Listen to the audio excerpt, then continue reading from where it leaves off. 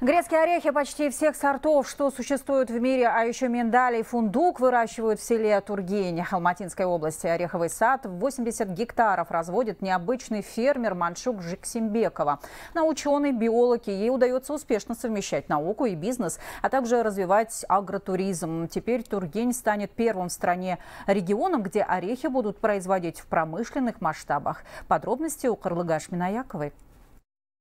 Особая гордость Маншук Жексембековой – фундук. Она смогла вырастить его в условиях резко континентального климата. А этот лесной орех, как известно, не любит две крайности – жару и холод. Но Маншук адаптировала его. А главное, теперь ей удастся сбить цены на казахстанском рынке. Как и любой привозной продукт, он стоит дорого – 5000 тенге за килограмм. Занимается этим делом фермер 4 года. Говорит, что пройдет еще столько же, и фундук пойдет в промышленных масштабах. Но уже сейчас ее ореховый сад стал объектом агротуризма. Наш регион, да, для агротуризма очень э, имеет хорошие э, перспективы, потому что у нас э, разноплановые э, хозяйства. Одни выращивают овощи, ягоды, виноград, яблони и так далее. То есть весь э, большой спектр э, сельхозпродукции.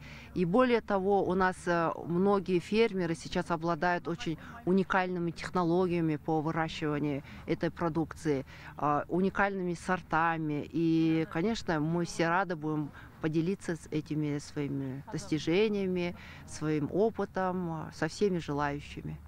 Ореховодство в Казахстане интересно уже не только для производителей, говорит Маншу. В сентябре они провели первые агротуры для всех желающих. Показали, как идет сбор орехов, туристы пробовали их на вкус. А на этот раз гости решили помочь хозяйству и высадили тополя вокруг сада. Выбрали именно серебристый вид. Он не выделяет пух и защищает ореховые деревья от ветров и морозов.